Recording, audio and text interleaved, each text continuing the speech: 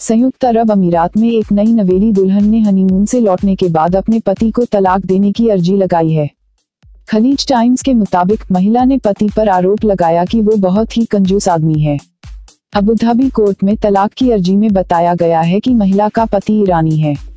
Honeymoon के दौरान उसने कंजूसी दिखाई। महिला ने दावा किया कि पूरे हनीमून के दौरान उसके पति ने सारे बिल उससे भरवाए।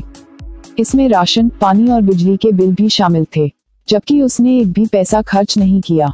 महिला ने तलाक लेने के बाद हनीमून पर खर्च किए सारे पैसे का भुगतान करने को भी कहा है। महिला के वकील ने बताया कि पत्नी से तेरह साल छोटे पति ने हनीमून की शुरुआत में ही सारे बिल पति के नाम करवा दिए थे। उसने वजह बताई कि उसके सारे पर्सनल डॉक्यूमेंट खो गए थे।